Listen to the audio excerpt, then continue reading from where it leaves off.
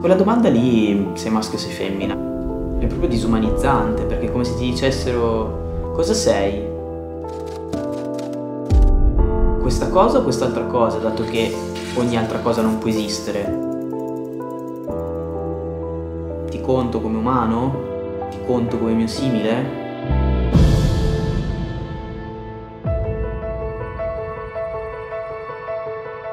Io una parte di me, ma grossa, l'ho dovuta addomesticare e mettere in un cassetto e chiuderlo per un sacco di anni. Per me la cosa importante era avere un corpo maschile, non vestirmi da maschio, fare il maschio. Se io avessi potuto scambiare il mio corpo l'avrei fatto subito. Avevo proprio questa difficoltà anche proprio a vedermi.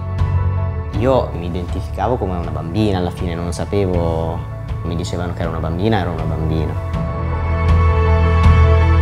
Mi ricordo un bambino che mi chiese ma tu sei maschio o femmina? Non volevo dire io sono una femmina, mi turbava, ma mi turbava anche dire io sono un maschio e quindi rimasi in silenzio. Ci sono diversi modi di fare coming out e quello migliore non l'ha ancora trovato nessuno. Una transizione di genere è uno degli atti incruenti più sovversivi che esistano.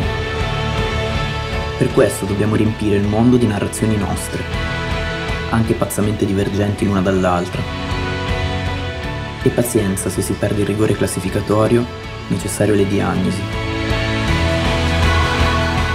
Tutti i miei amici mi stanno chiedendo come stai, come stai, ma io sto da Dio. e come avrei voluto crescere.